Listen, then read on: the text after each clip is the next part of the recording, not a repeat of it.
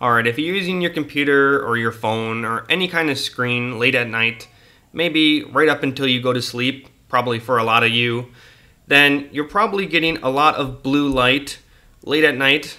So you're staring at a bright laptop screen and seeing all this bright blue light right before you go to sleep is probably not great for your health.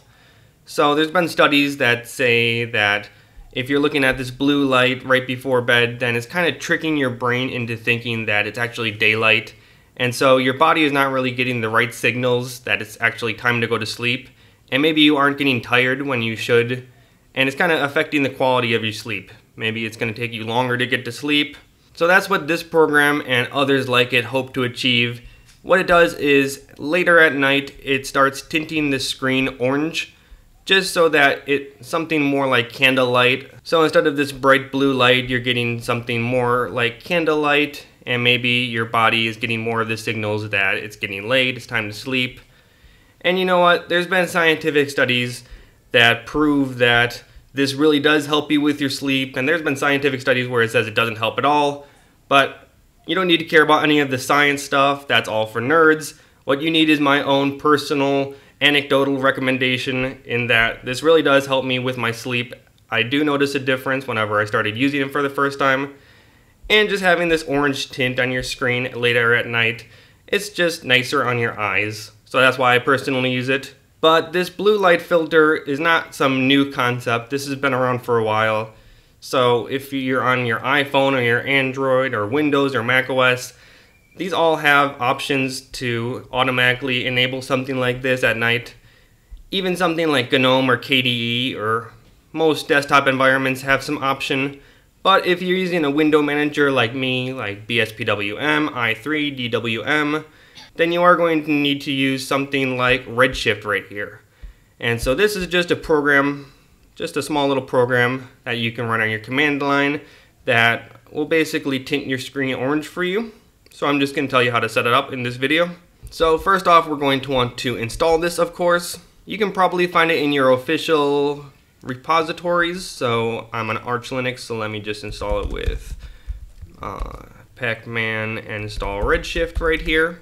And once you've installed this, then you can just run Redshift right here. And there's a couple of ways to do this. So you do need to pass in your location. And your location is basically how Redshift determines what time the screen should start dimming. And so the easiest way to do this would probably just to pass in your latitude and longitude. So you would do that with this dash L option. And then you're going to want to actually get your latitude and longitude. So of course you can just do that with any online service. Let's just say, for example, I'm in San Francisco. I don't actually live here, but if you do, my condolences let's just get latitude and longitude here. And let's grab any random website here. And the latitude and longitude numbers that you want are going to look something like this. Uh, you do need to pass in a negative right here if you live in the western hemisphere say the Americas. So you don't want to put in something like this. You want this one right here. So let's just put this in here. And we're going to separate this with a colon right here. And once I put this in now you're not actually going to be able to see this because it's not going to register on my screen recorder, but the screen is getting dimmer and it's giving me a nice soft transition instead of an abrupt jump, so that looks nice. And so if that's all you want, then you would just automatically start something like this up every time that you start your window manager. So in my case, I'm using BSPWM, so I will put this in my BSPWMRC, put in your i3 config or something, just this line right here. But if you want a config file, say you don't want to pass in your latitude and longitude every time, you can set that up. Uh, let me create a directory in my .config. It's going to be Redshift. And then you're going to want to create a file called redshift.conf. Right, like that. And then you can copy a sample configuration from the GitHub here. There is one right here. So you can just copy all of this paste it over here, and then go through and manually configure things. You can put the latitude and longitude here. You can also make some other adjustments. Say if you want to change the temperatures for night and the temperatures for day, maybe you want it to be a little oranger or a little bit less orange, you can change that. But to be honest, you probably don't need to change much here. all I would personally do is just put in the latitude and longitude here. And of course, once you're done with that, just check to make sure that it's in your window manager startup script and you are done. Now there are a few other options that I will go over. So you might also want it to geolocate your location. Maybe you don't want to manually pass in your latitude and longitude here. Maybe if you're traveling or you move somewhere across different time zones, then you'll want to automatically update your location. You don't want to manually look up the latitude and longitude every single time. That could be annoying. So I'll show you how you can automatically get your location if you want. And we're going to do that with this package called GeoClue. So let me actually just delete this because uh, I don't want it to get my latitude and longitude. I want to pass it in myself. So first off, let's install this package called GeoClue right here. So if you install this, then you should be able to just run Redshift and have it automatically just get your location. So you're not passing in any arguments here, you're just letting it run, and it will try to get the location automatically right here, but you might get some error like this. And this is what I had personally. This error is a little bit annoying, but there is a nice fix that I found for it. So what I did is I added this service to systemd, and let me just uh, go over this real quick. So I just want to add this systemd service just for this particular user. I don't really need it if I'm not logged in to this specific user and this specific graphical environment. So it's going to be in .configs slash systemd slash user slash geoclue dash agent dot service. So if you want a service just to start for this specific user and not if you're not logged in, then you would put it in this folder right here. Let me open this up.